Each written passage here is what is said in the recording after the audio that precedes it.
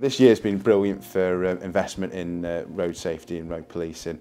We've got the acoustic cameras that are gathering information on, on, on the sound, the average speed cameras, and then we've got the local speeding uh, device units that are able to be moved around the county to gather information, which is which is brilliant. So the benefits of the acoustic camera that basically they can give us information if there's an issue with noise or volume of traffic in certain areas, and that data gives us opportunities to develop solutions to, to that issue. The average speed cameras, they're, they're such a useful tool for us on the road crime unit because they simply slow people down. People have stopped me numerous times to say you know, they would like them in their area just because they know how beneficial they are because people see them and they slow down and I see it on A roads and I see it on the motorways when we have roadworks.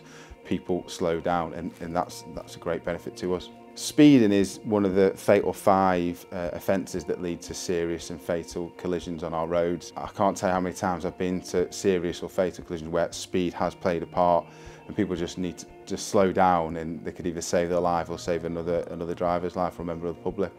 Having these local speed devices are such a brilliant tool because they enable us to dot them wherever we need to just to gather information. That information can tell us if there is a problem in that area and then that can be passed to someone like myself on the Road Crime Unit that can take action to either enforce or educate drivers.